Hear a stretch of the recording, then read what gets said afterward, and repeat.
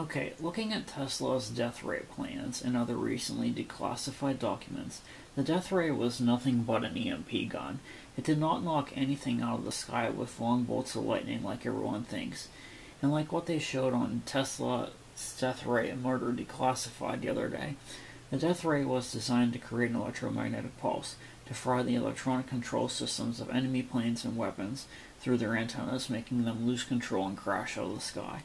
Russia did get the plans, built it, and quickly abandoned it because it used too much energy and resources. And at the time, newer advances in technology came along and cheaper and better ways were developed.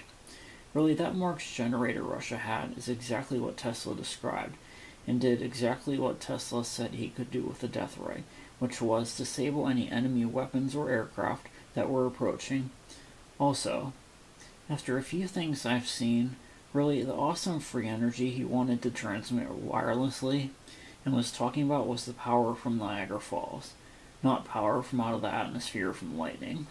Because if lightning did make that much power and had as much wattage as everyone thinks it has, it would fry all of our electronics from the magnetic pulse every time there was a single lightning strike somewhere. Lightning has the voltage alright, but not the current. All the show is, is just the electrons moving through the air at the speed of light, superheating the air, causing the flash, and the sound is just a shock wave caused by the electrons moving at the speed of light.